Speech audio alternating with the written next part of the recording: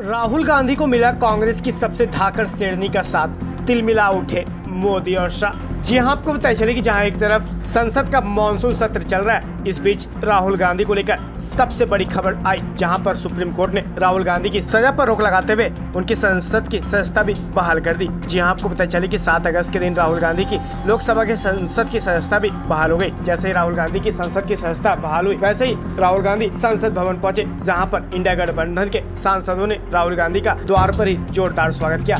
अब इसी बीच एक वीडियो सोशल मीडिया पर काफ़ी तेज़ी के साथ वायरल हो रहा है। जिसमें देखा जा सकता है कि दिल्ली स्थित एआईसीसी मुख्यालय से बाहर निकलते ही राहुल गांधी के साथ कांग्रेस की सबसे धाकर शेरनी सुप्रिया श्रीनेत उनके साथ पैदल चलते हुए नज़र आ रही है। जी हाँ आपको बताया चले कि लगातार सुप्रिया श्रीनेत कांग्रेस के पक्ष में अपनी बात रखती है और एक बार फिर से राहुल गांधी का साथ सुप्रिया श्रीनेत को मिल गया है। तस्वीरों में देखा जा सकता है कि राहुल गांधी से सुप्रिया श्रीनेत कुछ आने वाले विधानसभा चुनाव एवं अलग रणनीति बनाते हुए नज़र आ रही है। सबसे पहले हम आपको राहुल गांधी और सुप्रिया श्रीनेत का ये प्यारा सा वीडियो दिखाते हैं।